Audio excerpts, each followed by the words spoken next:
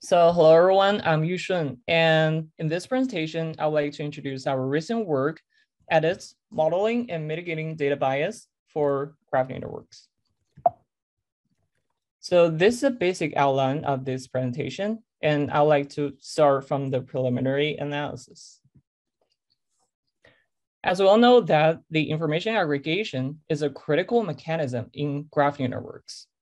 However, a natural question is, does the information aggregation bring unfairness? Let's assume that we have two different demographic subgroups representing two different uh, genders, uh, including males and females.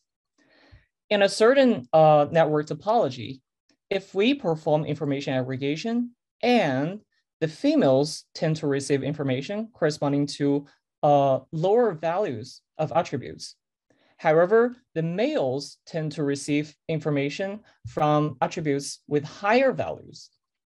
Then intuitively, uh, such kind of information aggregation could bring unfairness in graph networks.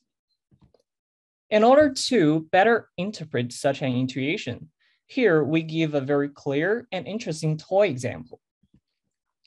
Still, we assume that we have two gender subgroups, and we assume the values here representing the income corresponding to each individual.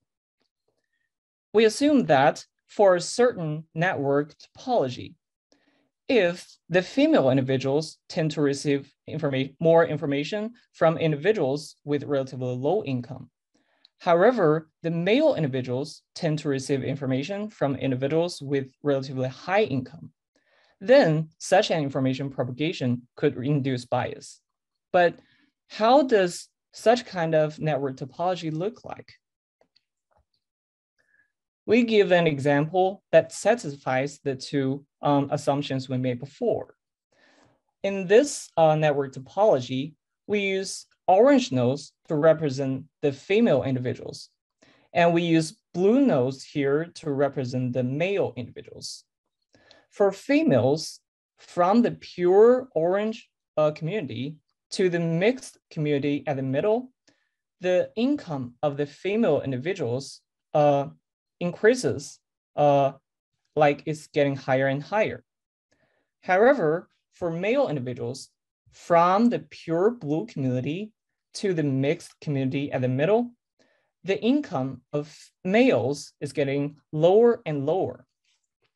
In such a network topology, as we can see that if we perform information propagation, the females with high income would tend to interact more with males with relatively low income, uh, which is align, which is in alignment with the two assumptions we made before. So how does the information propagation operated on such a topology look like? We generated unbiased attributes for these two gender subgroups. And then we perform information propagation based on the biased network topology we discussed before and the generated un, uh, unbiased attribute uh, distribution. And it turns out that after information propagation, even if the input attributes across the two gender subgroups um, is unbiased, uh, we still get a biased distribution after information propagation is performed on a biased network topology. And additionally, um, it goes without saying that uh, if we use a biased attributes to perform the uh, information aggregation, we will uh, still get the uh, biased uh, feature, uh, biased attributes after information propagation. So this preliminary analysis told us that um, the input, input network data for graph networks is a significant source of bias. On the other hand, um, existing works that debias graph networks only based on specific backbone models, such as graph convolution networks. So they bear some drawbacks, such as expensive retraining and fine-tuning for different backbone models. Now that we have proved that uh, the input network data for graphical neural networks is a significant source of bias, then the natural question is how to de directly debias the attribute network data for graph convolution network, graph neural networks to avoid those drawbacks above. This is a non-trivial problem, and we mainly face the following three different challenges. The first challenge is how to model bias for two different data modalities. And the second challenge is how to debias the two different data modalities efficiently. And the third challenge is how to debias the attributed networks in a model agnostic way. In order to handle the three challenges, we propose certain um, solutions. To handle the first challenge, uh, we propose two novel bias matrix that directly measures the bias level for the input network data, uh, including attribute bias and structural bias. To handle the second challenge, uh, we propose a framework named EDITS to debias the two data modalities in parallel. And to handle the third challenge, um, our framework directly debias the attribute network data based on our proposed novel bias matrix. And let's start from the introduction of our proposed bias matrix. And the first one is attribute bias. It's pretty easy for us to obtain the normalized uh, attribute matrix. For each dimension of the normalized attribute matrix, we split the values into two different sets. And then we compute the average Wasserstein distance between the two sets across all attribute dimensions. And finally, the average distance value is taken as the value of the attribute bias. In the following part, we introduce how we compute, how we design the structural bias. Firstly, we take a weighted sum between the normalized adjacency matrix and the identity matrix. And then we design a propagation matrix with the weighted sum version of different P matrix up to an order of H. And then we multiply the propagation matrix with the normalized attribute matrix in order to get a propagated attribute matrix. And similarly, for each dimension in this propagated attribute matrix, we still split the values into two different sets that represent the values corresponding to two different demographic subgroups. And we compute the average Wasserstein distance across the um, all attribute dimensions. And the final uh, average value is taken as the value for structural bias. And here comes our proposed debiasing framework EDITS. In this framework, we have a so-called generator and so-called discriminator. In the generator, we have the attribute debiasing component and structural debiasing component. These two components generate the output as the debiased um, attributes and debiased adjacency matrix, representing the debiased network topology. Based on the two uh, debiased outputs, we do uh, attribute aggregation uh, from zero hop to h hops away for each node. After this has been performed, for each node uh, at each attribute dimension, we will have a vector with a dimension of h plus one, representing its accessible attribute value from zero hop to h hops away. And for the two uh, demographic subgroups, there will be underlying joint probability distributions for such vectors.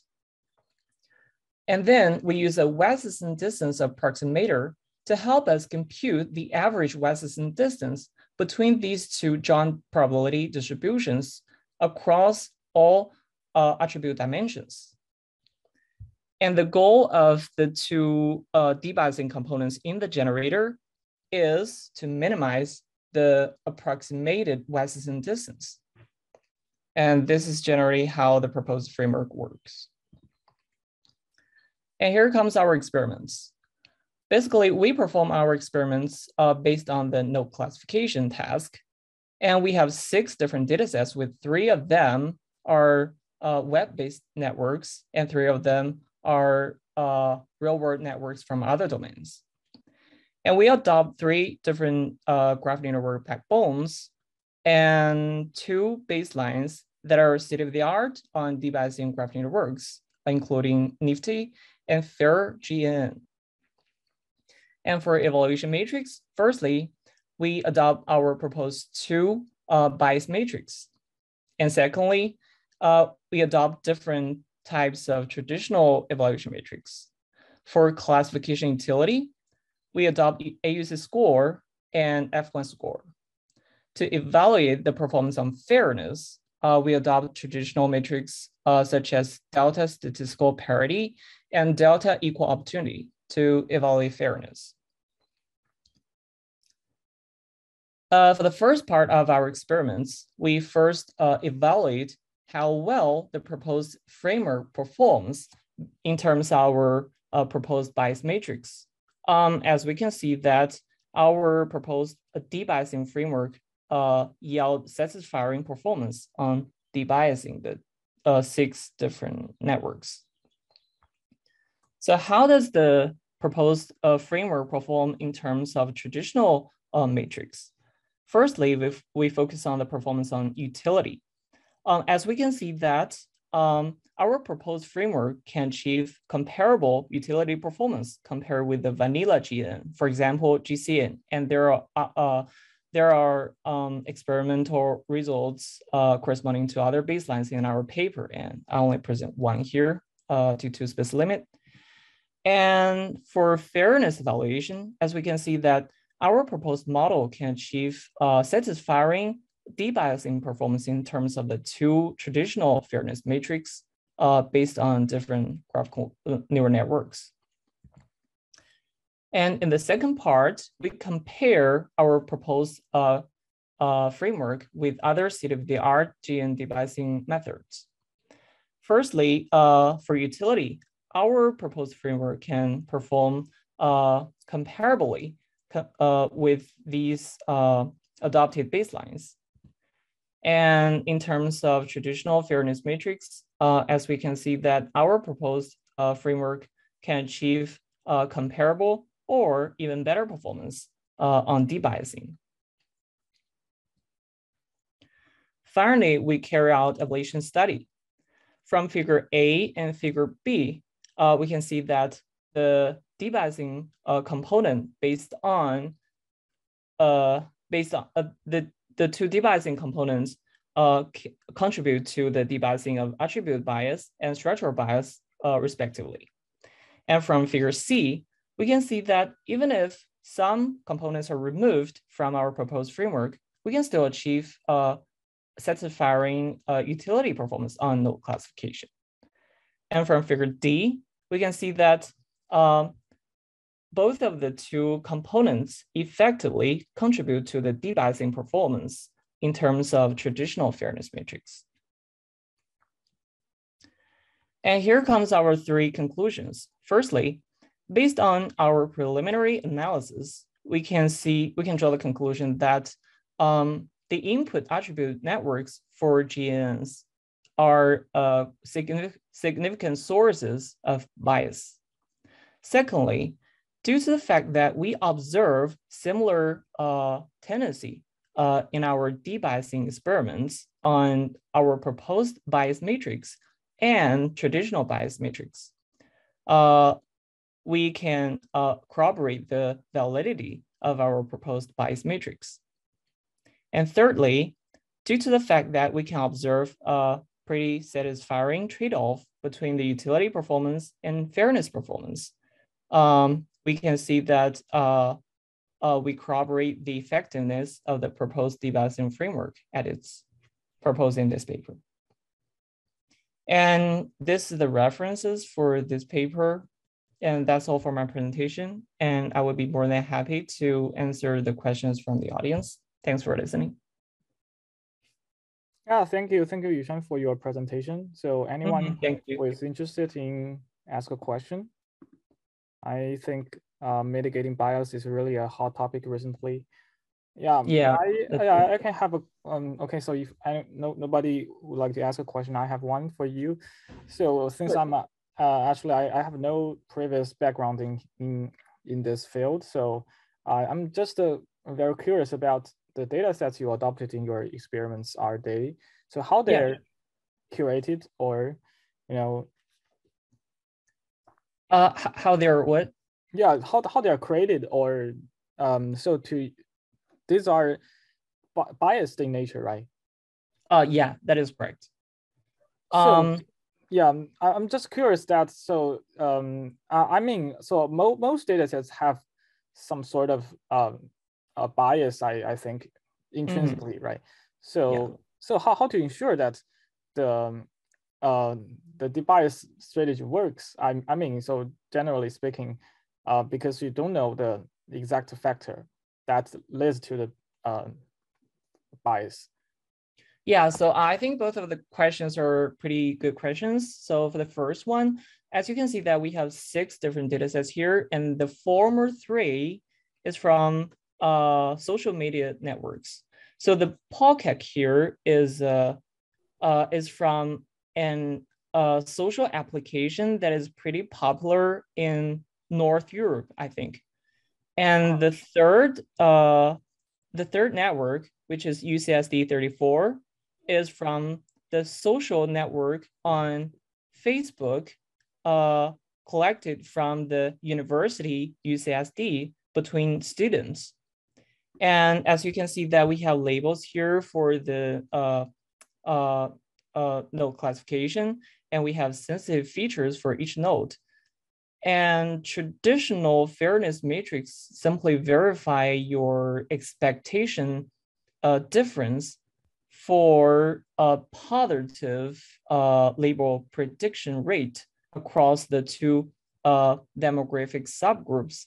And of course, we also did some extension uh, on uh, non-binary uh, sensitive features in our appendix. Uh, you can check if you're really interested. I see. And that's basically the answer to the first question. And the second question, uh, could you repeat the second question again? I'm sorry. Yeah, I mean, so how, how do you find the, the exact, so I mean, I, I, I remember that you have a so so-called a, a discovery phase that will will um, to identify some um, bias factors, right? So how, how, how could you verify this is really a important bias or a factor that leads to the bias in the data set?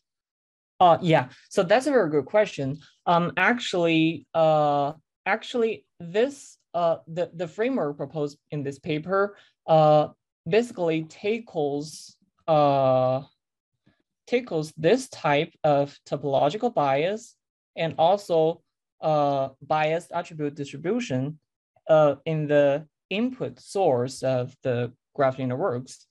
And after we have uh, reduced both types of uh, bias in the data pre-processing stage, we can then um, observe better performance oh. on fairness uh, in perspective of traditional matrix.